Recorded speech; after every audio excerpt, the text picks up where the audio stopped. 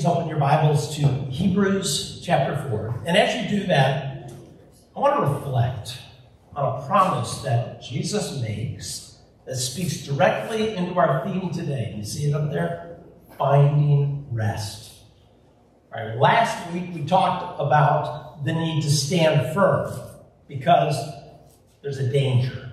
The danger is hardened hearts.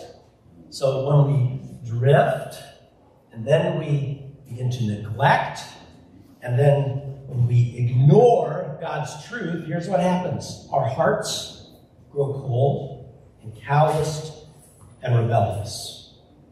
The deceitfulness of sin, chapter 3, verse 13, says it right there. It leads to a hardened heart. So we have to be careful that we don't go there. Sin is deceitful, it's trying to trick you with empty promises, quick fixes, immediate gratification.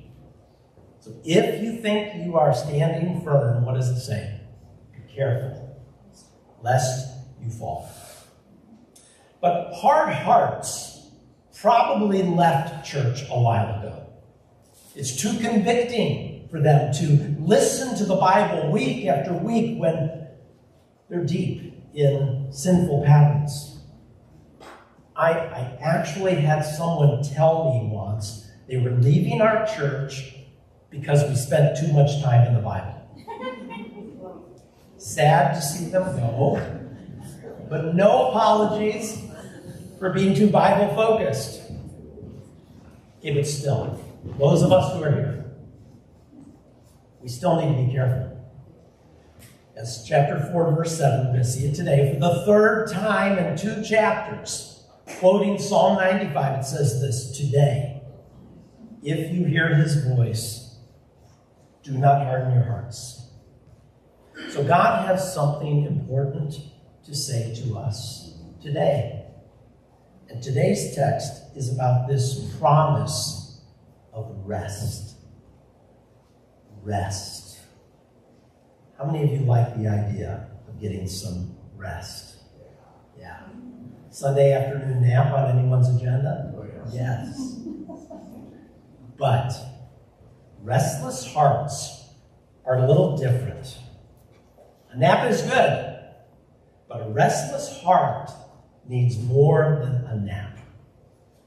So here's the promise that Jesus makes. I want us to reflect on Matthew 11, verse 28. He says this Come to me, all who labor and are heavy laden, and I will give you rest. He's not talking about taking a nap. He's talking about a weariness of heart, a heart that is burdened. Now, I love the, uh, the message translation here. We'll put it on the screen. It says this Are you tired, worn out, burned out on religion? Come to me. Get away with me and you'll recover your life. So, the rest that God offers us is recovering the life that He made you to experience, to know Him, to be with Him, to be loved by Him and forgiven by Him, to be full of purpose and meaning. But to find that, where do we have to come? To Jesus. See, you, you won't find it in religion. You won't find it in any of the spiritual baggage that you may have picked up along the way. Just put it down and hold on to Jesus. That's what the author of Hebrews has been telling this struggling church that was under pressure, a church that was tempted to give up. He says, hold on to Jesus. Don't let go. He's the only one who can give you this kind of rest deep, fulfilling satisfaction for your restless heart. Well, why do we have restless hearts?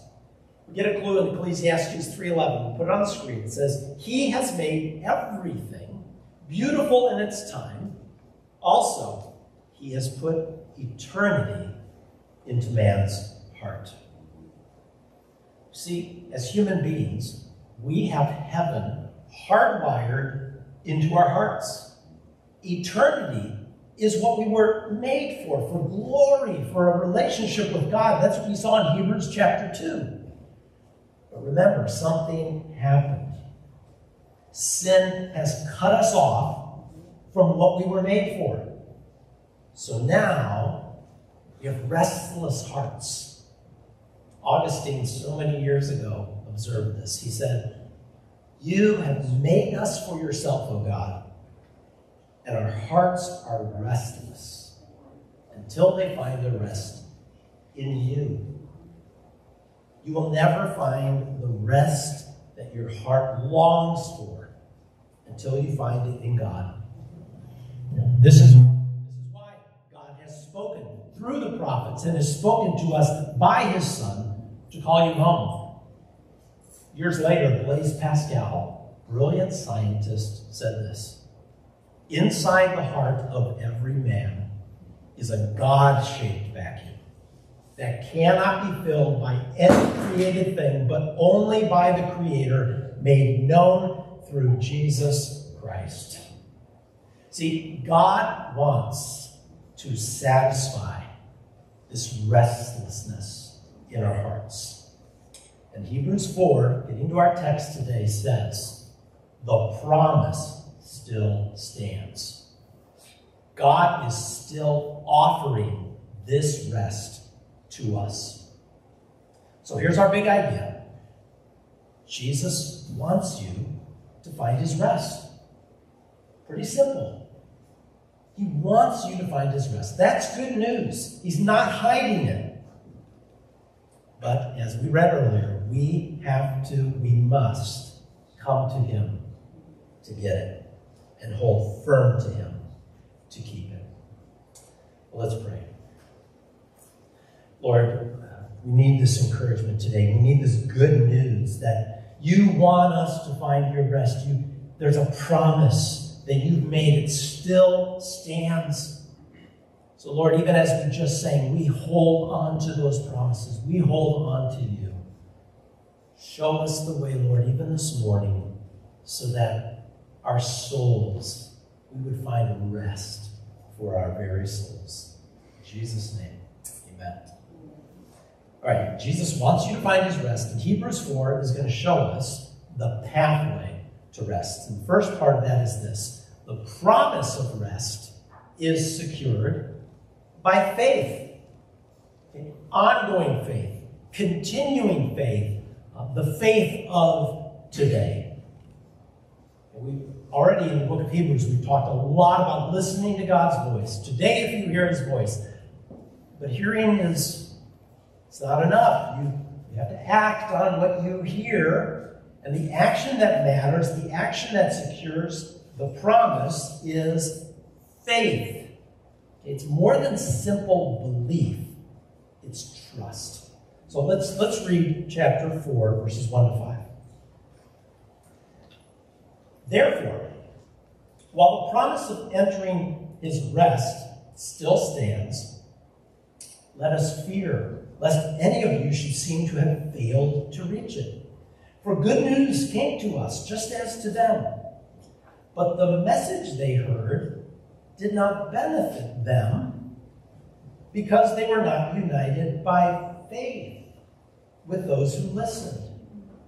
For we who have believed enter that rest. As he has said, As I swore in my wrath, they shall not enter my rest. Although his works were finished from the foundation of the world, for he has somewhere spoken of the seventh day in this way, and God rested on the seventh day from all his works. And again in this passage, he said, They shall not enter my rest. All right, so he's referring to the Israelites. They heard the promise of rest. They were told about the promised land. That was good news, but it only benefited them if they believed, if they continued to believe. And you know the stories of how they were rescued from Egypt, how God did all the miracles. It was, it was a pretty dramatic conversion story. Right? The rescue was spectacular, it was miraculous. But getting to the promised land took some time. And it wasn't easy. And it seems that for many of the Israelites, they kind of forgot how God had saved them. And over time, sin had hardened their hearts, and their fear of giants and battles caused them to no longer believe God could actually give them rest. Do you know anyone who has a dramatic conversion story? They professed faith in Jesus, but over time, it fizzled out. Okay, the, the promise of rest, of life, of salvation, so our text says it still stands.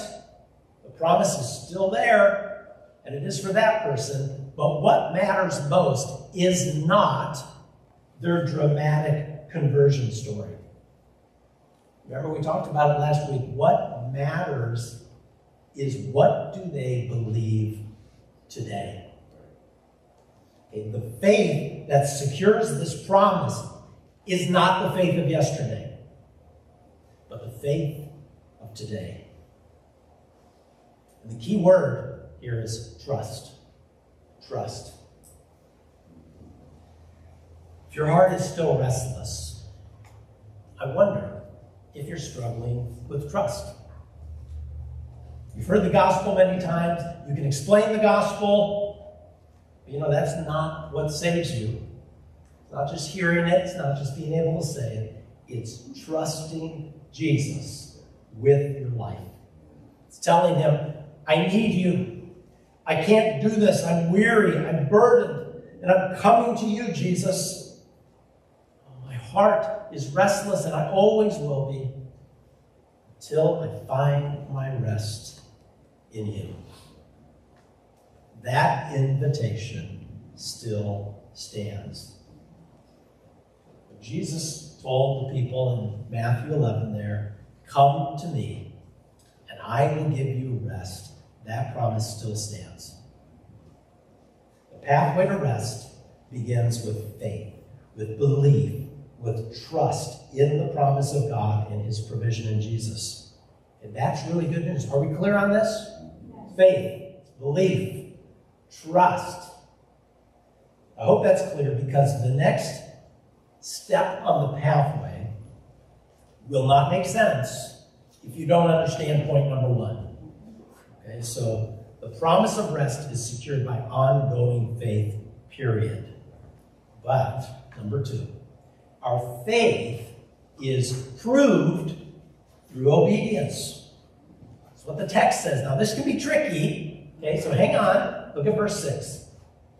Since, therefore, it remains for some to enter it, and those who formerly received the good news failed to enter. Why? Because of disobedience. Wait, wait a minute. I thought it was belief and faith is what got you into God's rest. Yes, it is. But how do we know that some of the Israelites did not have faith? How do we know that they did not believe? The ones who did not believe did not obey. Okay, so listen, obedience does not get you in. Only faith does. But disobedience shows that you do not really believe. And again, it's not, well, there was a season of obedience in my life. there was a time in my life when I obeyed we don't accumulate frequent obedience miles, you know, that we can redeem later. Yeah, but God, when I was young. No, the season that matters is when? Now. It's today. It's the most important day of your spiritual life. Today. So there's a key word here, and it's urgency. Urgency. It's not this. Oh, you know, I will get serious about obedience tomorrow. I, am really going to get serious about following Jesus after the holidays. Um, you know, when I get married, when we have kids, or you know, once I get established in my career, I'm going to get serious when, when I retire. I just don't have time right now. No. Today. Today is the day. So let's read uh, chapter 4, verses 6 to 11. Since therefore it remains for some to enter it, and those who formerly received the good news failed to enter because of disobedience, again he appoints a certain day, today, saying through the David, so long afterward, in the words already quoted for the third time, ready? Today, if you hear his voice, do not harden your hearts. For if Joshua had given them rest, God would not have spoken of another day later on. So then, there remains a Sabbath rest for the people of God. For whoever has entered God's rest has also rested from his works, as God did from his. Let us therefore strive to enter that rest, so that no one may fall by the same sort of disobedience. Okay, so this is not talking about being perfect. That is not possible. So our obedience is always going to be imperfect. The issue is are you striving to enter that rest? Are you trying? Is there a desire for obedience? Have you established a plan for obedience? Is there repentance? Is there genuine remorse for the times you fail and disobey? If, if that is true in your life, you don't have a hard heart. Okay? It, it's okay. It's not that sin's okay, but it's part of the journey of sanctification. God's promise for you um, is rest. So hold on to that confidence until the end. We saw that in chapter 3:14. Hold on to it. So what kind of disobedience are we talking about here that can prevent us from experiencing God's rest? In verse 11, this is what it says. It's the same sort of disobedience. He's referring to what the Israelites displayed.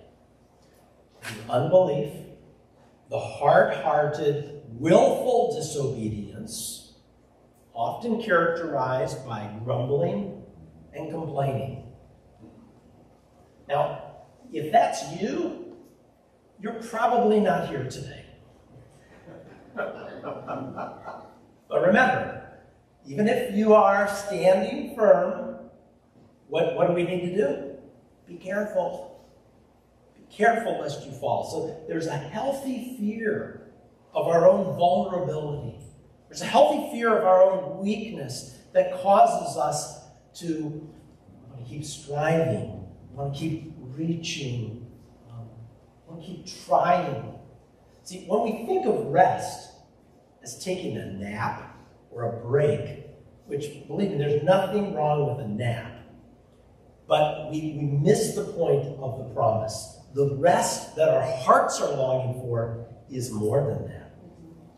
So let's look again at, at Jesus' promise and look at a few more verses in Matthew 11. We'll put it on screen. He says, Jesus says, Come to me, all who labor and are heavy laden, and I will give you rest. Then he says, Take my yoke upon you and learn from me, for I'm gentle and lowly in heart, and you will find rest for what?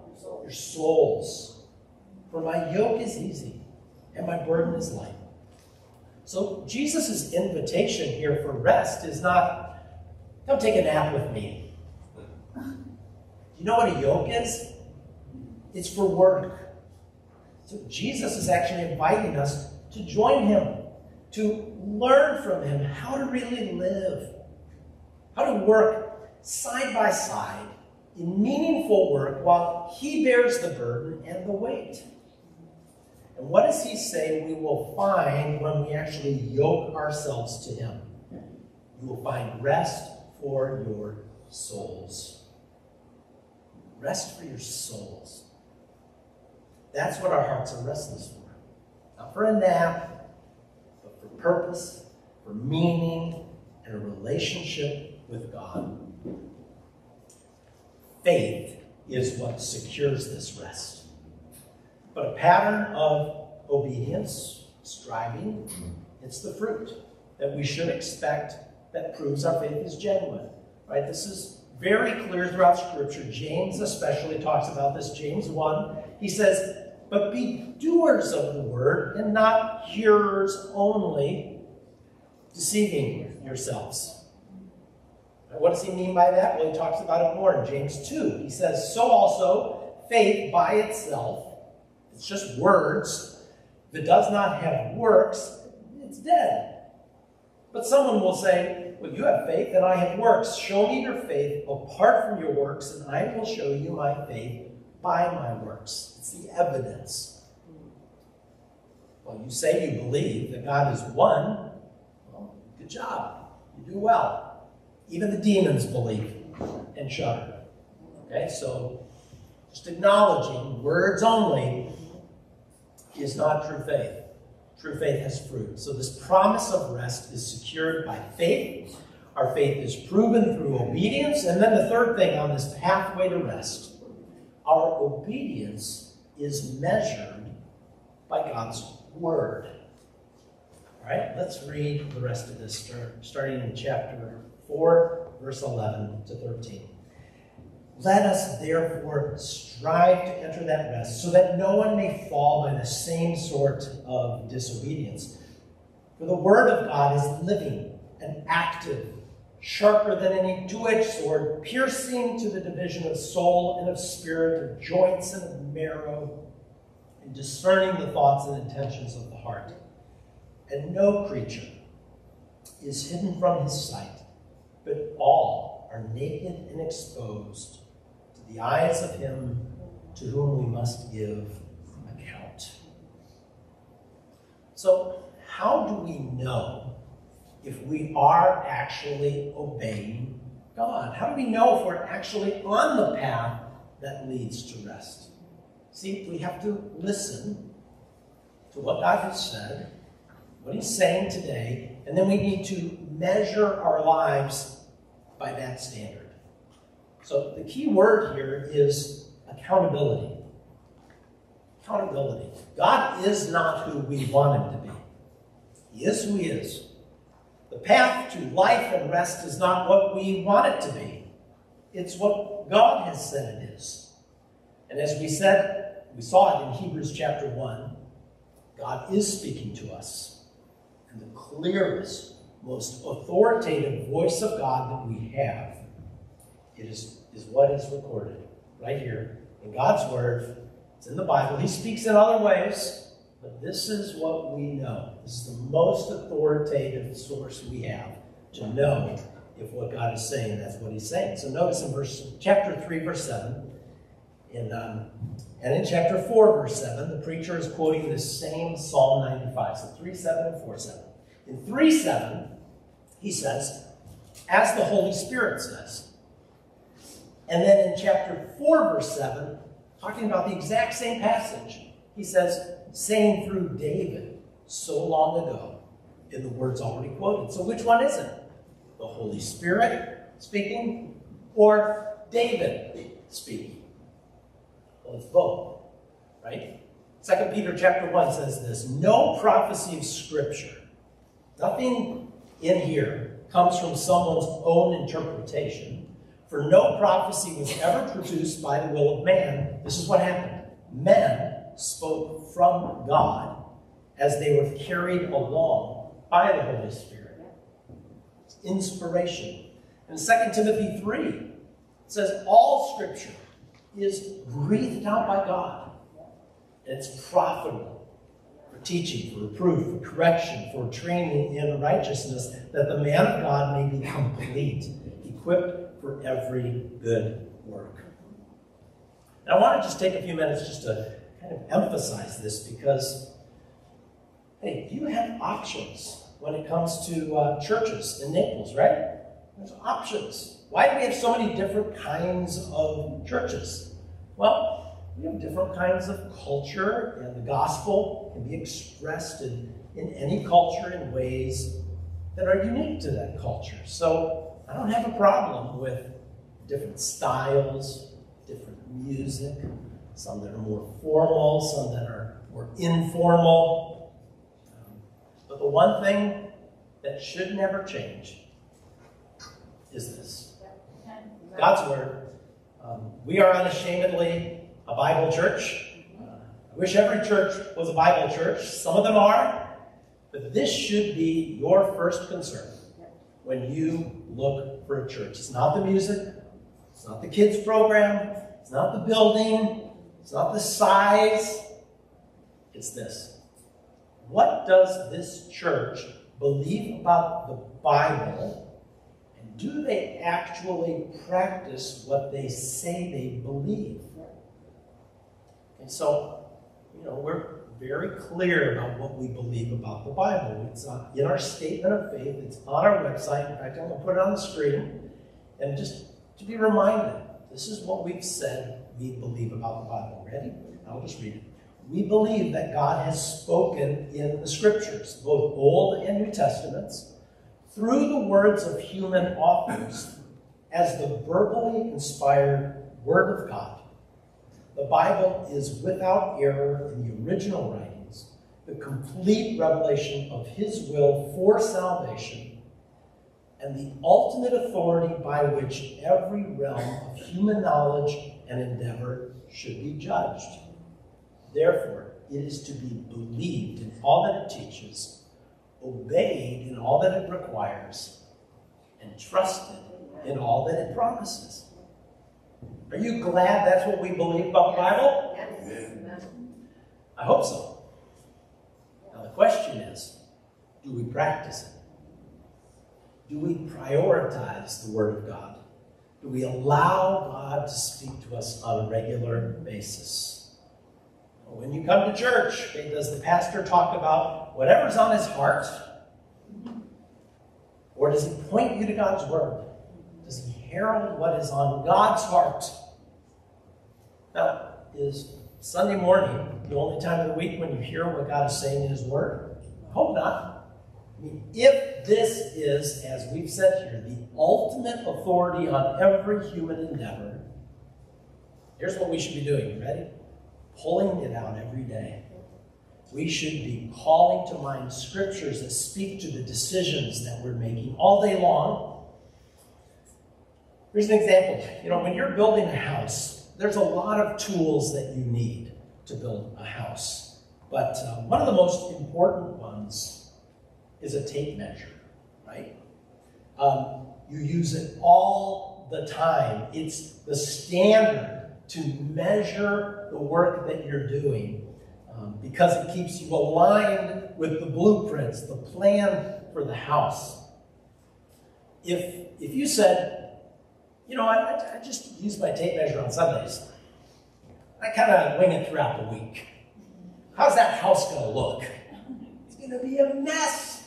No, that, that tape measure is on your belt, and you are using it all day long in the work of building because you need accountability to a standard. You can't just make it up throughout the week.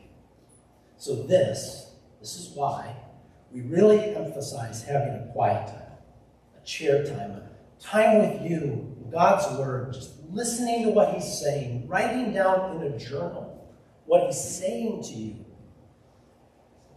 I know a lot of people who read devotional books, Jesus Calling, My Utmost for His Highest, Daily Bread. Hey, those can be great.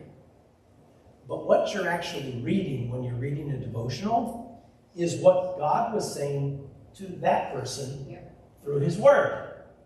All right, we benefit from that. Just like when I'm in a small group or gather with the men at Panera Bread 7 o'clock in the morning on Tuesdays, someone shares what they heard from God that they wrote down in their journal. God speaks to me through what God spoke to them. But God wants to speak directly to you through His Word, not just through others. You have to listen.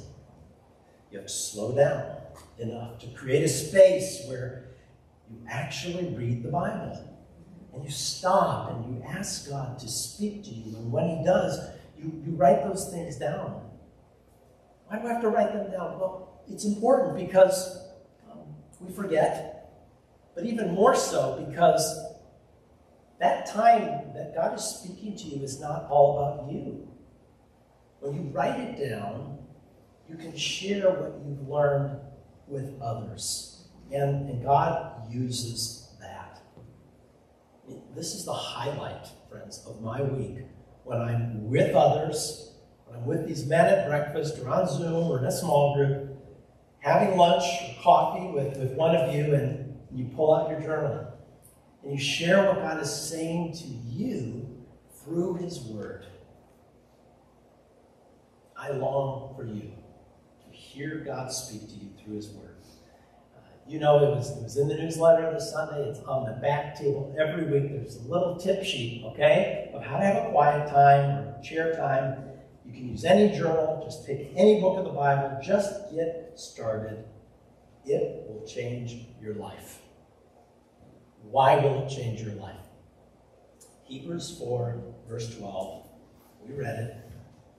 The Word of God is living and active. It's sharper than any two edged sword, piercing to the division of soul and spirit, joints and marrow, and discerning the thoughts and intentions of the heart. So let's look at each of those. First, God's Word is living and active. Some of you have a testimony, you heard a testimony of how someone was lost, didn't know God. They began to read the Bible, and it changed their life. I know many people who just began reading the Gospel of John, and they believed. See, the words that are in your Bible are not just ancient words on a page. When you read these and speak them to others, they are alive. God is in them. God uses them in our lives. Isaiah 55, verses 9 to 11 says this For as, high, for as the heavens are higher than the earth, um, God says, so are my ways higher than your ways, my thoughts than your thoughts. For as the rain and the snow come down from heaven and do not return there, but water the earth, making it bring forth and sprout, giving seed to the sower and bread to the eater. Okay? I mean, the wonder of nature, the wonderful rain that at least we got at our house yesterday is just feeding bringing things to life. He says this, so shall my word be that goes out from my mouth. It shall not return to me empty. It shall accomplish that which I purpose. It shall succeed in the thing for which I sent it. God is sending his words to us.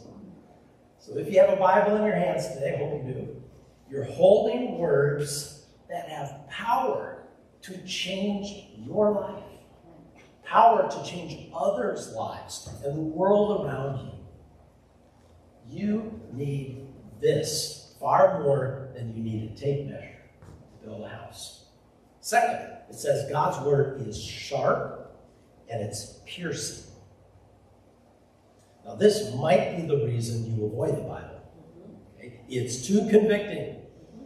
God's word can be like a scalpel exposing things in our lives that need to be removed. It, it can be invasive and disruptive, like a surgeon going to work. But that work is meant to help us, to heal us, to remove what is hurting us. Now, this is why I, I recommend just reading through the Bible for your quiet times. Um, it's why here we often just preach through books of the Bible is hidden from his sight, but all are naked and exposed to the eyes of him to whom we must give account. And so God's word provides accountability. It's a standard that's actually measuring us as we read it. So whether you read the Bible or not, right there it says in verse 13, we are going to give an account to God. Wouldn't it be better to know what God actually expects from us? What the standard is? Yes. So what does it say in verse 11? Knowing all of this, let us therefore strive to enter that rest. We've got God's word to measure our obedience. So, are we on track? Are we heading in the right direction?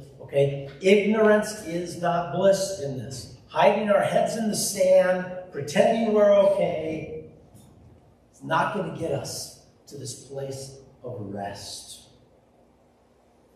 The invitation still stands. Jesus is saying this right now. It's a promise he's making. Come to me, all who labor and are heavy laden. I will give you rest. Take my yoke upon you. Learn from me. I'm gentle and lowly in heart. If you do that, you will find rest for your souls. Jesus wants you to find his rest. So let's come to him in faith. Let's live out our faith in obedience. Let's listen to what God is saying to us, exhorting one another, encouraging one another, as it says, every day. Because today is the most important day in your spiritual life. Amen? Amen. Amen. Let's pray. Uh, Lord, thank you that your, your promises never fail. They are new every morning. As you say in your word, great is your faithfulness, oh God. So we want to cling to your promise. We want to cling to you, Jesus. We, we come to you because that is where this promise is fulfilled. It's not fulfilled in religion. It's not fulfilled even in our obedience, Lord. It is through faith and trust in a sense of urgency as we follow hard after you as we measure our lives by your word.